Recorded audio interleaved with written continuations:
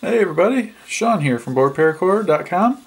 Today I want to show you how to do a police bracelet. It's going to be all black with a thin blue line down the center. Um, police are kind of getting a bad rep right now in the news lately. So I just kind of wanted to make a video um, because I, have heard of a lot of people making bracelets for the police.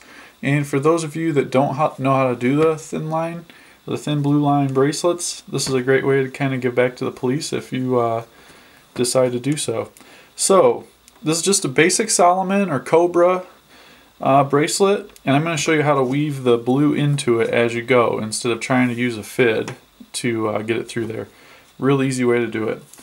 Um, I have about 10 feet of black here and for this bracelet you're going to use the uh, 1 inch equals 1 foot. So for every inch around your wrist you're going to use about a foot of paracord. So like I said I've got about 10 feet here, more than I need. And I don't have a buckle, so I'll be right back. Oh, here we go. I do have a buckle. There's one. Alright, so this is my center point here. The nice thing about one color is that you can do the little trick. So you're going to get your center point, bring that straight up through the buckle, wrap it over top of the buckle, around the back, and pull it tight gives you the cow's hitch without having to pull all that paracord through there. Now the only reason I don't do this with two colors is because when you fuse the sections together, the fuse section does not come up through there. Alright, let's flip that over. We're to run this through our fingers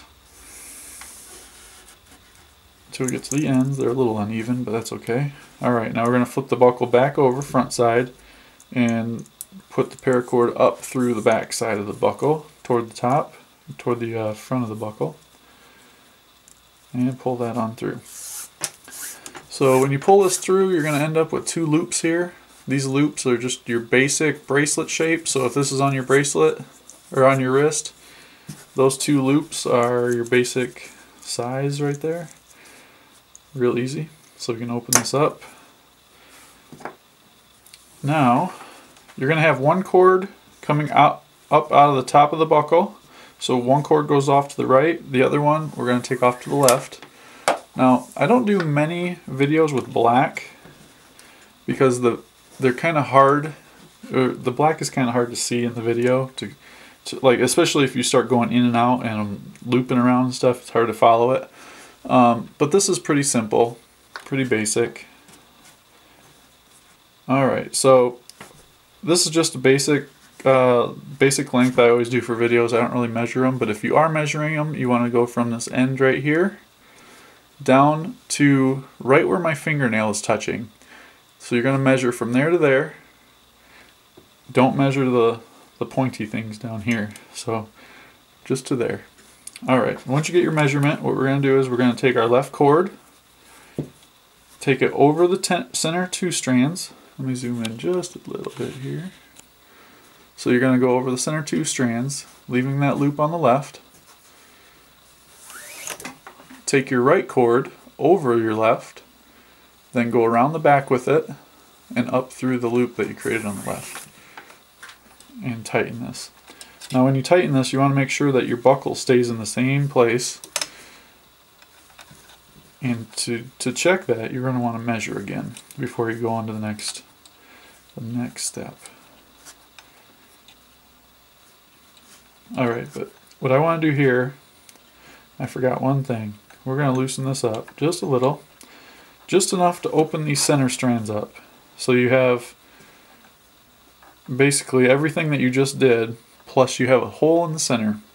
Now that hole, what we're going to do is take our, our blue paracord, and we're just going to take this and go right down through that center hole there, and then pull this tight. Sorry about that, I forgot all about the blue.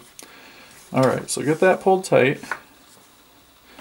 And now what I want to do is because I still have the inner strands in here, so I'm just going to cut these ends off real quick.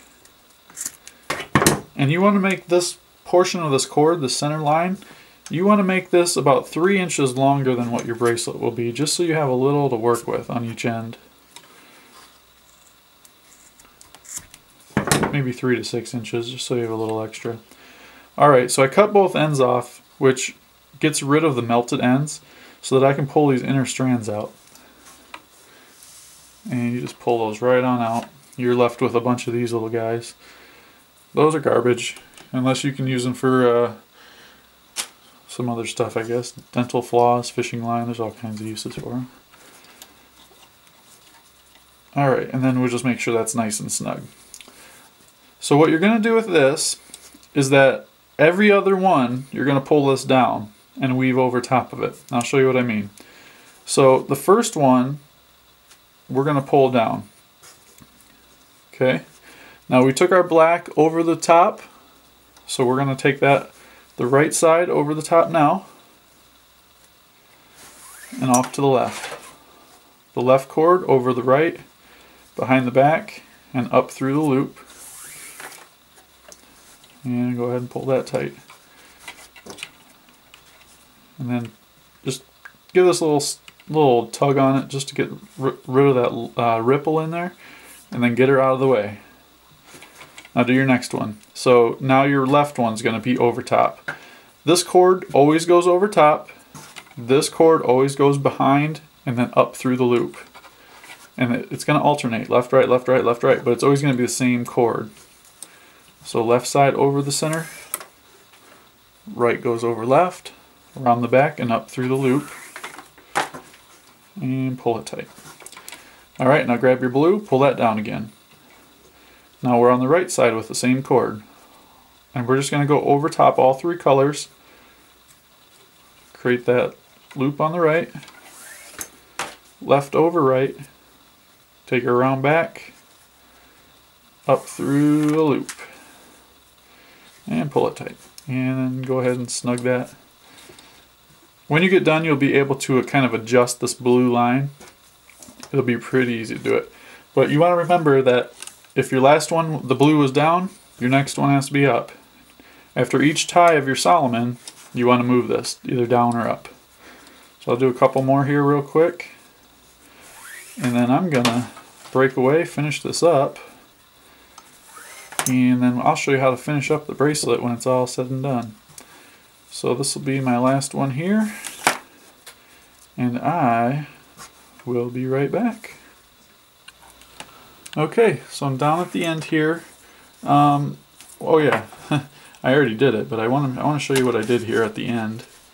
Um, all right, so what I did is I was getting ready to go. My last pass is going to be over top of the center. So what I don't want to end this at the at the front side of the bracelet. I want the melted end to be on the back side. So what I did is I just melted the end into a point, and I'm just going to thread my fid onto it. And I'm just going to take this right down through the center of the bracelet and out the back side and pull this through. And what that does, it still gives me my line, but now I can melt it on this end. And I'm trying to hurry because my battery is about dead. So I apologize if I don't get all this done, but I'm going to do my best. And my battery light is flashing at me. Alright, so now what you do is you just want to, oh I got to do one more tie here.